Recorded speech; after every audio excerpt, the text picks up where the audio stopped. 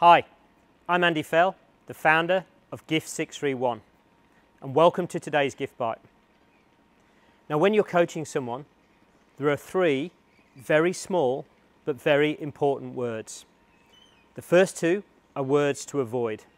The last word is a really, really great word to help you improve someone's performance in a particular area. The first word is but. Whenever you say, that was really good, but all I'm going to remember is everything that comes after the but, and all of your great work is lost. The second word is don't. Now, this was brought home to me when I heard Will Carling, who was once the captain of the England Rugby Union team, speak.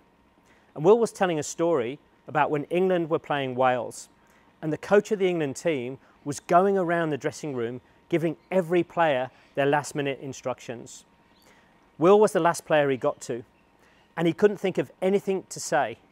So all he said to him, and he tried to make a joke, was Will, whatever you do, just don't drop the ball.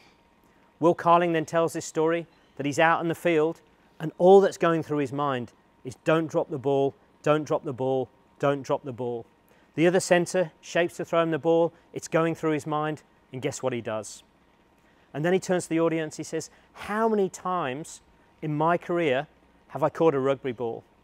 And the very first time someone puts into my mind, Don't drop the ball, I spill it, and we lose the game. So please avoid the word but and avoid the word don't.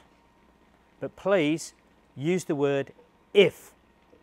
When someone says something to you, for example, well, I'm just not creative. How about you say back to them, if you were creative, what would you do? I'm just no good at creating rapport with clients. If you were amazing at creating rapport with clients, what would you say? I'm just no good at closing the sale. If you were fantastic at closing the sale, what would you do? What would you say? So, three small, very important words but, don't, and if.